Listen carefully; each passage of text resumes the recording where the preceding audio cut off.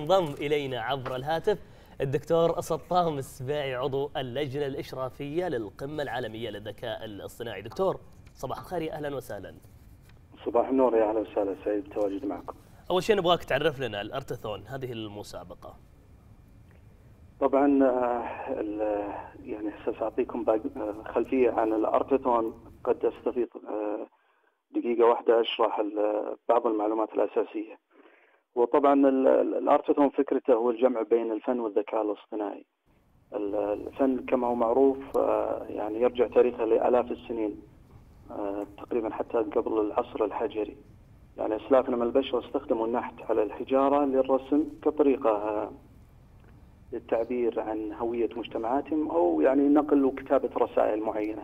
جميل. طور الفن مع مرور الزمن وأصبح يعني شكل خلينا نقول من أشكال الوعي الاجتماعي للتعبير عن أفكار الفنان الإبداعية.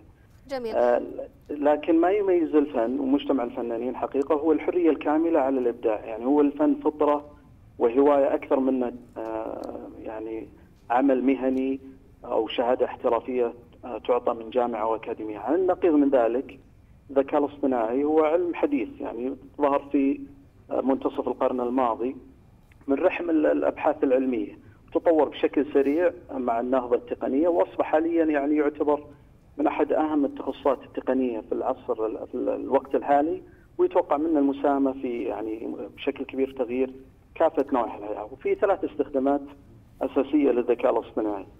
أولها أن الذكاء الاصطناعي يساعد متخذي القرار في في الحكومات على اتخاذ القرار السليم في متعلق مثلا بسياسات اقتصاديه أو اجتماعيه من خلال تحليل البيانات واستخدام الذكاء الاصطناعي لفهم هذه الأنماط الموجودة في البيانات.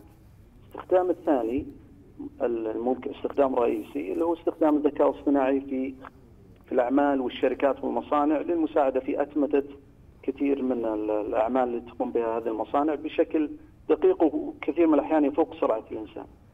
الاستخدام الثالث اللي هو إن الذكاء الاصطناعي يساعد في تحسين جودة الحياة للمواطن العادي، يعني مثال شهير يعني دائما يتم استخدامه لتوضيح ذلك اللي هو مثلا استخدامات الذكاء الاصطناعي في تطبيقات مثلا مشابهة لجوجل مابس والتطبيقات المشابهة اللي تساعد على تحديد أسرع طريق لتجنب الزحام مثلا من انتقال من مكان لمكان آخر من خلال استخدام الذكاء الاصطناعي. في الارتثون اللي تنظمها الهيئة السعودية للبيانات والذكاء الاصطناعي مع الشركاء شركاء وزارة الثقافة والاتحاد السعودي للأمن السبراني والبرمجة والدرونز كأحد مسارات القمة العالمية للذكاء الاصطناعي كما ذكرتم واللي هي أصلا برعاية صندوق الاستثمارات العامة ومنافسة بين فرق لبناء لوحات فنية باستخدام الذكاء الاصطناعي.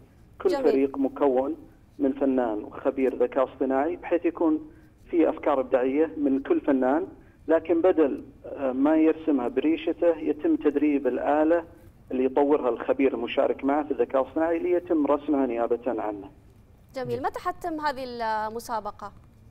وطبعا المسابقة ستم إطلاقها إن شاء الله اليوم وستستمر لمدة يومين وبعد الانتهاء الأولي من المسابقة يتم فيه معسكر تدريبي للفرق المرشحة اللي استطاعت أنها تخرج بأفضل الأعمال بيكون هناك معسكر تدريبي تقريبا لمده شهرين وفي نهاية الشهرين تنتهي ينتهي الارتثون باختيار أعمال فنية ستعرض في القمة العالمية للذكاء الاصطناعي في معرض مخصص هناك إن شاء الله.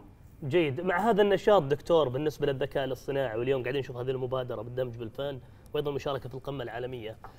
يعني وشفنا نشاط كبير أيضا فيما يتعلق بالعلوم المعلوماتية بالنسبة للمملكة العربية السعودية، دكتور كيف يمكن انه ننظر للمستقبل بناء على هذا النشاط؟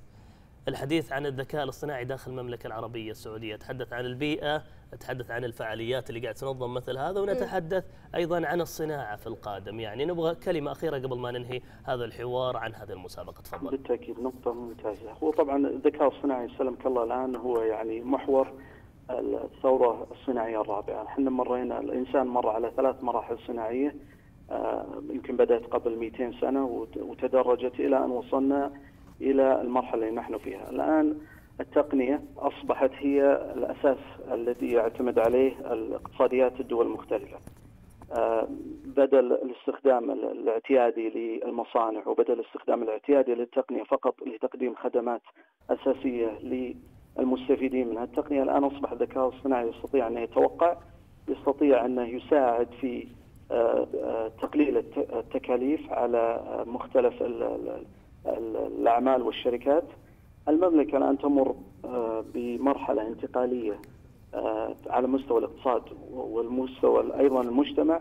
عندنا رؤية آه، طموحة رؤية 2030 لتحقيق هذه الرؤية هناك مبادرات كثيرة اتخذتها المملكة وعلى احد هذه المبادرات انشاء نعم. الهيئه السعودية للبيانات والذكاء الاصطناعي. وهناك إن شاء الله آه، مشاريع سوف تعلن إن شاء الله في المستقبل القريب. إن شاء الله أنها ستكون آه، فرصة بإذن الله لتحقيق ما نطمح يعطيك العافية دكتور سطاب السبيعي عضو اللجنة الإشرافية للقمة العالمية للذكاء الاصطناعي.